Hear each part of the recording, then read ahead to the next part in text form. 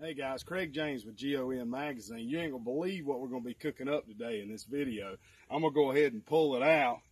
You're gonna think I've lost my mind. Oh yeah, this nasty thing right here, the mudfish. I'm gonna show you a way. We're gonna go start to finish. We're gonna fillet it. We're gonna season it. We're gonna fry it, and you're not gonna believe just how good this thing tastes. All right, let's go ahead and head to the fillet table and let's get started.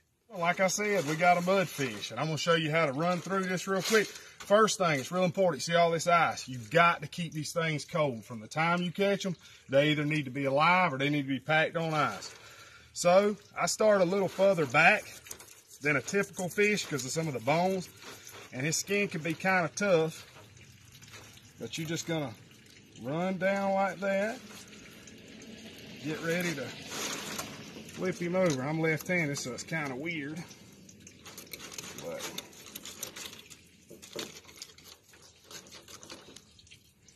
all right, all right. A little short there. Now, got a pretty piece of meat here. We're just gonna get it right off the skin, like this.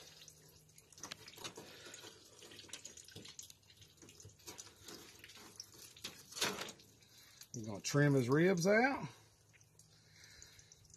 Oh, like so. You're left with this really, I don't know if you can see that, this really pretty piece of meat. What we'll do in a second is we're gonna flip this fish over, do the other side, and uh, we'll meet you back over on the tailgate. All right, guys, we're back over here, and the next step is it's really crucial if you're dealing with mudfish. You see, it's pretty meat here. Some people will tell you, oh, you got to bleed them out, or you got to do this, you got to. You wash them out real good, and this ice water here is going to do the trick. You want it to soak for about 15 minutes before you get ready to season it and fry it. This gives time for it to firm up some and just really cleans the meat and gets it ready to cook. So we're going to let it soak like that, and we'll give it 15 minutes, and we'll get ready to start cooking. All right, guys, we're back. We've had our uh, fillets, our mudfish fillets, soaking for about 15 minutes in this ice water. They've kind of firmed up now and, uh, and they're ready for us to get started working with. So we're going to take them out. You see, it's a really pretty fillet. I mean, nothing at all. We're going to let it kind of drain some on that paper towel. There's no fancy way to do this.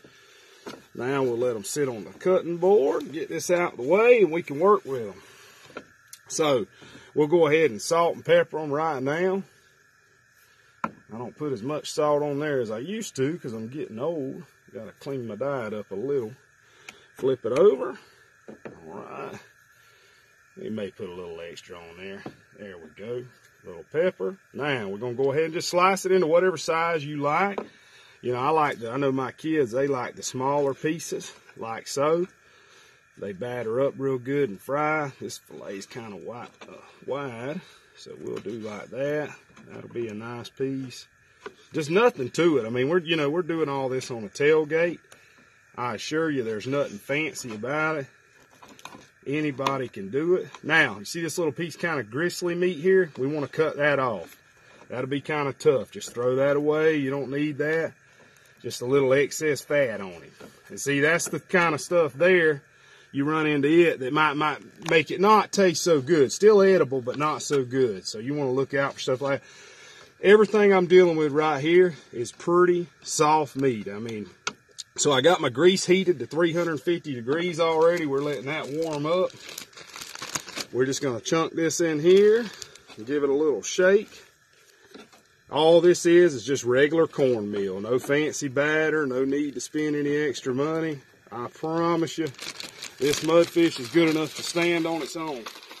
So we're just going to give it a little shake, work it around. Just like any other fish nugget if you made them before. We're going to get ready to put it in the grease. All right, guys, we're getting to the finish line. We're going to start dropping these nuggets in this roughly 350 degree grease. We're going to give them a few minutes. Usually only takes two or three minutes, just depending on what you're cooking in and the size of them. I better get moving faster. I'm going to be left behind. There we go. All right, I think that's all of them. We're going to give these a couple of minutes and we're going to be ready to eat some mudfish. All right, guys, it's my favorite time of cooking mudfish. We're coming out the grease. coming in hot here. Whew. All right, there we go. About got a little too hot, but I bet you it's gonna be good. All right, we'll give these a couple of minutes and we'll do a little taste test when we're back with you.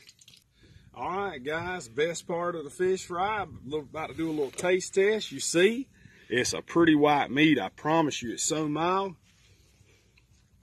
Eat a mudfish. I'm telling you, you won't never want to turn another one loose. This stuff's so good. Thank y'all.